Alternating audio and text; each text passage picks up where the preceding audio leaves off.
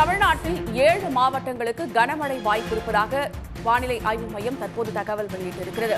தமிழ்நாட்டில் ஏழு மாவட்டங்களுக்கு இன்று மிக கனமழைக்கு வாய்ப்பு இருப்பதாக வானிலை ஆய்வு மையம் தற்போது அறிவிக்கை வெளியிட்டிருக்கிறது. கன்னியாகுமரி நெல்லை தென்காசி தூத்துக்குடி நீலகிரி கோவை தேனி மாவட்டங்களில் ஒரு சில இடங்களில் மிக கனமழைக்கு வாய்ப்பு இருப்பதாகவும் தெரிவிக்கப்பட்டுள்ளது.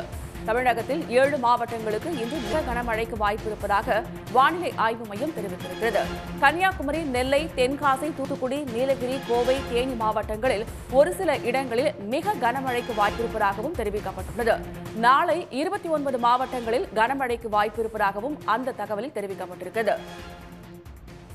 தமிழ்நாட்டில் ஏழு மாவட்டங்களுக்கு இன்று மிக கனமழைக்கு வாய்ப்பு இருப்பதாகவும் கன்னியாகுமரி நெல்லை தென்காசி தூத்துக்குடி நீலகிரி கோவை தேனி மாவட்டங்களில் ஓரிரு இடங்களில் மிக கனமழைக்கு வாய்ப்பிருப்பதாக தெரிவிக்கப்பட்டுள்ளது. கூடுதல் விவரங்களை தருகிறார் நமது செய்தியாளர் விஷ்ணு பிரகாஷ். விஷ்ணு பிரகாஷ் முழு விவரம் என்ன? வணக்கம்.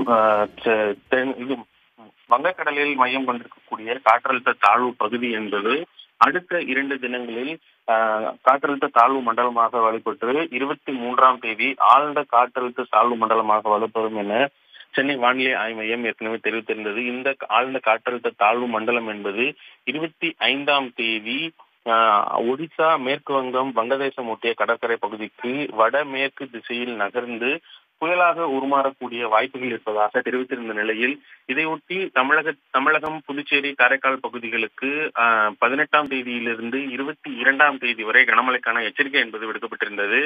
அந்த அடிப்படையில் இன்றைய தினத்திற்கான வானிலை எச்சரிக்கை என்பது விடுக்கப்பட்டிருக்கிறது. குறிப்பாக தமிழகத்தில் கன்னியாகுமரி திருநெல்வேலி ஆஹ், திருநெல்வேலி நீலகிரி உள்ளிட்ட ஆஹ், ஆறு மாவட்டங்களில் கனமழை முதல் மிக கனமழை பெய்யும் என்று சென்னை வானிலை ஆய்வு மையம் தெரிவித்திருக்கிறது. குறிப்பாக கன்னியாகுமரி திருநெல்வேலி தென்காசி தூத்துக்குடி நீலகிரி கோயம்புத்தூர் தேனி மாவட்டங்களில் கனமழை முதல் மிக கனமழையும் அதே போல ராமநாதபுரம் ஆஹ், சிவகங்கை விருதுநகர் மதுரை திண்டுக்கல் திருப்பூர் ஈரோடு சேலம் நாமக்கல் ஆஹ், கரூர் தருமபுரி கிருஷ்ணகிரி திருப்பத்தூர் திருச்சிராப்பள்ளி புதுக்கோட்டை தஞ்சாவூர் திருவாரூர் நாகப்பட்டினம் மயிலாடுதுறை கடலூர் விழுப்புரம் அரியலூர் பெரம்பலூர் கள்ளக்குறிச்சி உள்ளிட்ட இருபத்தி ஐந்துக்கும் மேற்பட்ட மாவட்டங்களில் கனமழை பெய்வதற்கான வாய்ப்பு இருப்பது. ஒட்டுமொத்தமாக தமிழகத்தில் முப்பதுக்கும் மேற்பட்ட மாவட்டங்களில் கனமழைக்கான எச்சரிக்கை என்பது இன்றைய தினத்திற்கு விடுக்கப்பட்டிருக்கிறது. அதே போல அடுத்து வரக்கூடிய மூன்று தினங்களுக்கும் தமிழகத்தில் பரவலாக மாவட்டங்களில் மழை பெய்வதற்கான வாய்ப்பு இருப்பதாக தெரிவித்திருக்கிறது.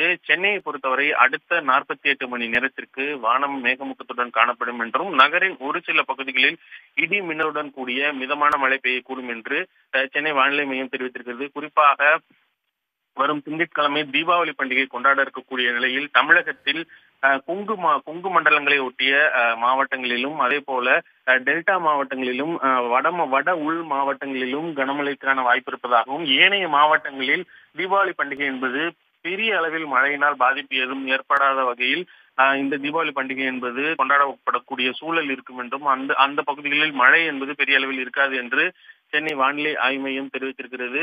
இருபத்தி இரண்டாம் தேதி வரை வங்கக்கடலில் உருவாகி இருக்கக்கூடிய அந்த குறைந்த காற்றழுத்த தாழ்வு பகுதியின் காரணமாக தமிழகத்திற்கு மழை பெற மழை பெறக்கூடிய நிலையில் அதன் பின்னராக அந்த காற்றழுத்த தாழ்வு பகுதி என்பது வங்கக்கடலில் வட வடமேற்கு திசையில் நகர்வதன் காரணமாக தெற்கு ஆந்திரா ஆஹ், வடக்கு ஒடிசா உள்ளிட்ட மா- மாநிலங்களில் மழைக்கான வாய்ப்பு இருப்பதாக சென்னை வானிலை மையம் தெரிவித்திருக்கிறது. இது மட்டுமின்றி மீனவர்களுக்காக விடுக்கப்பட்டிருக்கக்கூடிய எச்சரிக்கையில் இன்றைய தினம் லட்சத்தீவு மாலத்தீவு பகுதிகள் குமரிக்கடல் பகுதிகள் மற்றும் மன்னார் வளைகுடா பகுதிகளில் சூறாவளி காற்று மணிக்கு நாற்பத்தி ஐந்து முதல் ஐம்பத்தி ஐந்து கிலோமீட்டர் வேகத்திலும் இடையிடையே இது அறுபத்தி ஐந்து கிலோமீட்டர் வேகத்திலும் வீசக்கூடும் என்பதால் இந்த பகுதிக்கு மீனவர்கள் மீன்பிடிக்க செல்ல வேண்டாம் என்ற அறிவுறுத்தலையும் சென்னை வானிலை ஆய்வு மையம் தெரிவித்திருக்கிறது.